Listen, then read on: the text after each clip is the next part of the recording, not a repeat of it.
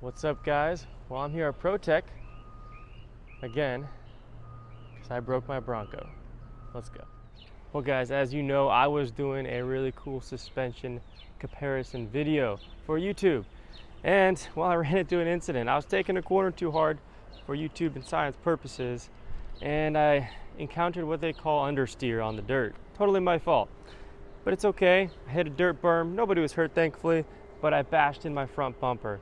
Now I didn't get any video unfortunately except a little bit on the inside, but I have some pictures I'll show you and maybe some of the interior shots as well of what happened. Uh, but honestly it was kind of boring, just understeer right into a dirt berm. And I'm here at ProTech, they're gonna kind of assess the damage. I already got the alignment kind of fixed and we'll go from there, but stay tuned.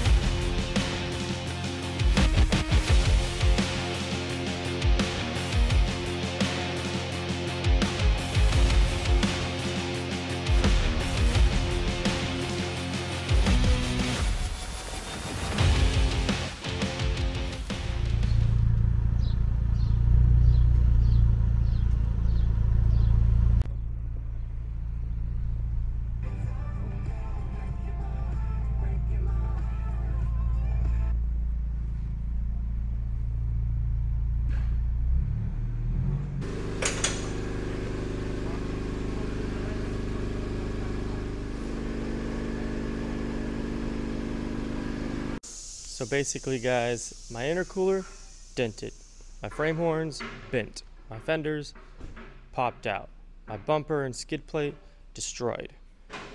So we're gonna get up on the lift here ProTech, fix the alignment, and see what's busted.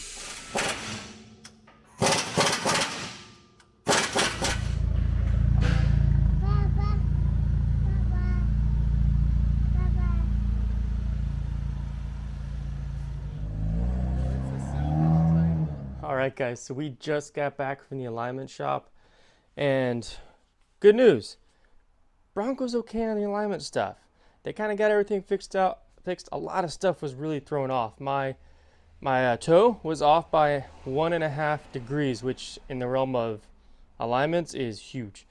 So they're all able to dial it all in. My rear alignment was thrown off. My front alignment was thrown off. They got it all back together. So huge thanks to ProTech. They never fail me. Now we got to do the next step. We got to fix these frame horns so I can mount my new bumper because I ordered a Metalcloak front bumper for my Bronco. That way I can kind of get my winch accessible again because I have to put the lift and 37s on. It's just too much work to reach down there with the hidden winch and, and kind of disengage it for the clutch to pull the free spool the wire out. So with that Metalcloak bumper, it's going to be really nice. Stay tuned for that video. But let's get the uh, frame horns checked out.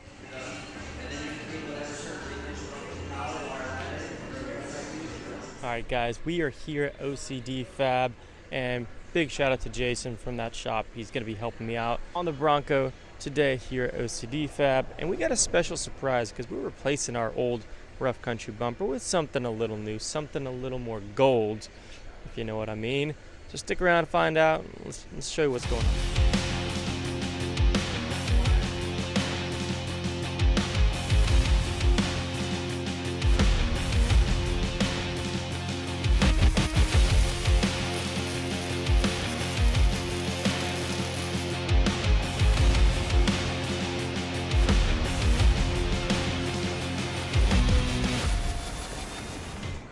We're doing right here is we're mocking up the bumper to kind of get an idea. Well, Jason's mocking up the bumper to kind of get an idea of where everything's going to lay. We got to replace this intercooler still that's hanging, and we got to find a location for these Keen reservoirs because the old location is not going to work anymore, especially with the tires rubbing on them. So we're just mocking it all up for now, and then uh, kind of a sense of where everything lays. So all we had to do here is we had to cut off the hoop that goes on the base model. If you have the modular bumper, you don't have to touch it. But with the base bumper, the plastic one, you're just gonna have to grind off that hoop in order to get the skid pan to clear. All right, first step on getting this Metalcloak bumper on after we fixed everything else is to throw these uh, these side pieces on. They just come here, use the factory hardware to bolt up, three bolt each horn, really easy. takes two minutes, guys. Next, you're gonna take this filler cap right here. It just bolts on, two bolts, and that's gonna be for your skid plate. Just slides right up in there. And then, put these suckers on. What are these called? D-ring mounts? Yeah, D-ring mounts, recovery points, either way. Where you tug on. That's where you're tugging. All right, after getting those wings on there and putting these uh, recovery points into those two bolts real quick, you're gonna put the skid plate on before you put the centerpiece. Skid plate just held on, bolt here, bolt here, a bolt through here to this, and then it's gonna be a bolt down there as well. And that's it. Make sure you use two people for this, and uh, he's working on a bolt. Alrighty, well we got the centerpiece on. You just gotta pop some bolts in there, some bolts in there. Forgot this one goes on after you put the centerpiece on. And uh, yeah. Make sure your winch is already dirty when you put it in so people know you off-road. Looks good. I like it. Alright guys, we got the bumper finished up. The last part was just running that wiring through underneath. Really, really cool stuff. Jason did a good job on this. Overall, I'm really, really happy with the fit and finish. This ended up working out even with the JKS. It did knock this down just a hair, like 3 16ths, which made the bolts lining up quite a pain. We had to use a jack, mallet, that kind of stuff. This location for the reservoir is fantastic. It is, I can't get any better than that. Nothing's touching, nothing's rubbing. It's all in the perfect spot, tucked away, out of sight. You can still reach down and adjust it really easy. Gonna put the piece right here, still gotta add that. And then this is a spot for a 2x3 pod light flush mount, one on each side. And then I'm probably gonna end up putting a Project X right here to finish it off.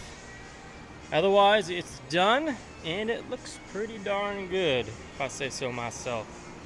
And then as far as this goes, I didn't really notice any sagging with the extra pounds from this bumper.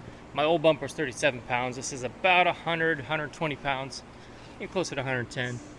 And then down here with the Icon uh, diff cover, skid plate, we had to just bolt this up underneath that. fit no problems if you're getting an Icon skid plate which I recommend. That uh, works just well. The only thing I would hit these, I like this flush mount right here. I wish they would have kept that for these as well. I'm not sure why they didn't.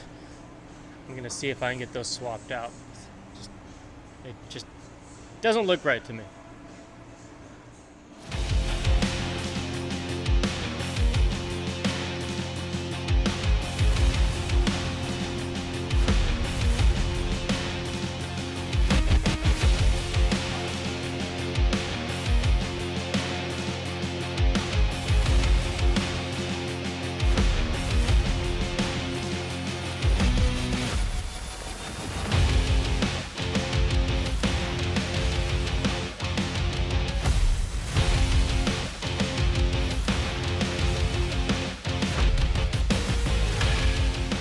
Guys, that's going to be it. Huge thanks to Jason from OCD Fab for helping me out with this install, or I guess I helped him. He did most of the work. So we're going to get out on the trail. We're going to go hit the Rubicon tomorrow with Jeep Jamboree. Not allowed to bring the Bronco, but going to have a fun time, and I'll see you guys in the next one.